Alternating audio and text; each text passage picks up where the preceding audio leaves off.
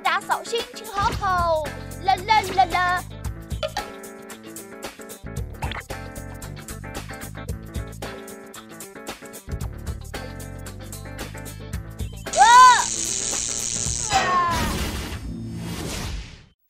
嘿，嘟嘟，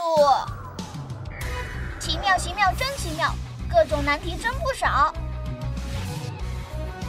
奇妙探索，心猿小宝万事都知道。是嘟嘟。为什么大蒙牛搞卫生会被电倒？电的安全问题还有哪些？到底谁能给我们答案？让新宝来为我们解答吧。勇气，力量，源源不断。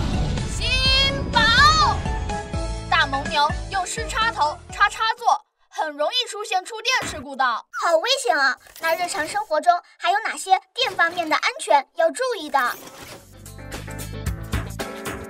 嗯，电灯坏了，我来修一下。生活中电器坏了，记得要先切断电源，再修理电器哦。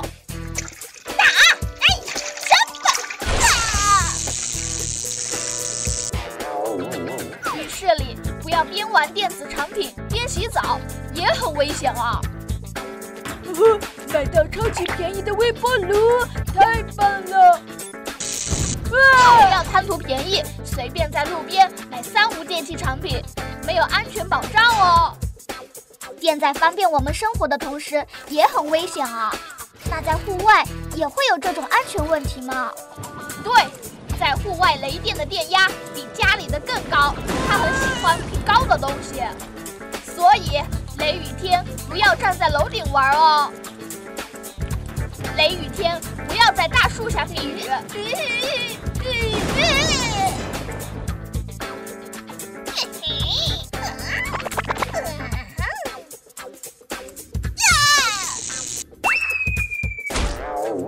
在外活动时，看到高压危险的标志，不要随便靠近啊！被子晒在这里，肯定干得快。耶不能在电线上晾晒衣服、被子哦。嘟嘟，都好危险啊！小朋友，不管在